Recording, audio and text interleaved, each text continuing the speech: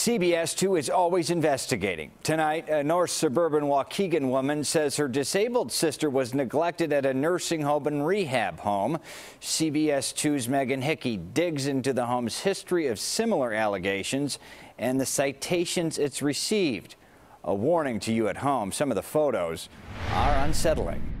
After a brain aneurysm and stroke in 2014, doctors gave Justarina Caffey very low odds of surviving. I feel like the fact that she even made it through, God wanted her to live. But her sister, Cora Caffey, tells me the road to recovery has been much harder than they thought. Justarina's been staying here. It's registered with the state as Elevate Care Waukegan, but the name change is so new that the signage and the website still say Glen Lake Terrace. Caffey says her last visit about 10 days ago made her sick to her stomach. Literally, I jumped because it scared me so bad. She's talking about her sister's feet, which had apparently been covered with socks for an extended period of time without being bathed. They just put socks on her and left her be. Caffey says the staff couldn't give her any answers. I tracked down Caffey's nurse over the phone, and she told me that now that they know about the problem, they're working on a medical plan to correct it. But Caffey argues that it never should have gotten this bad without somebody noticing.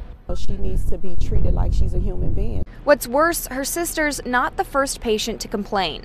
Inspection records under both facility names show a history of deficiency citations issued by the Illinois Department of Public Health or U.S. Department of Health and Human Services. A 2018 inspection report shows the facility was cited for personal hygiene care issues. In November, a report said staff failed to prevent neglect of a resident left sitting up in a wheelchair for 10 hours and failed to report an allegation of neglect in a timely manner.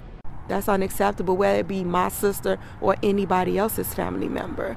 I went to the facility's administrator for answers, showed him Caffey's photos, and explained the concerns, but was told the facility had no comment and was asked to leave the property immediately. Caffey says she's looking into moving her sister to another nursing home, but right now she can't afford the cost to transport her. In Waukegan, Megan Hickey, CBS 2 News.